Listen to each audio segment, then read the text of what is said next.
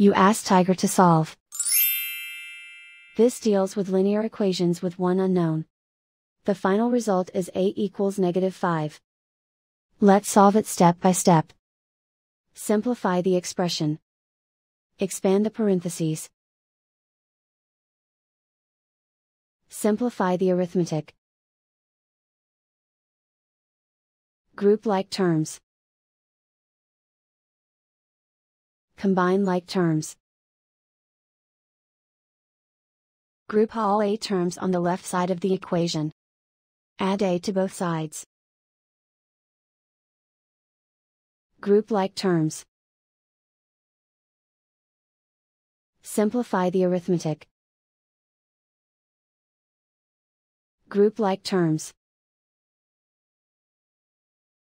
Simplify the arithmetic. Group all constants on the right side of the equation. Subtract 13 from both sides. Simplify the arithmetic.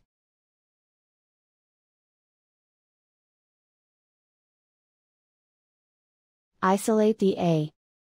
Divide both sides by 5. Simplify the fraction. Find the greatest common factor of the numerator and denominator.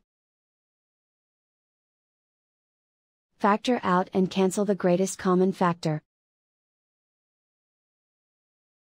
And so the final result is a equals negative 5.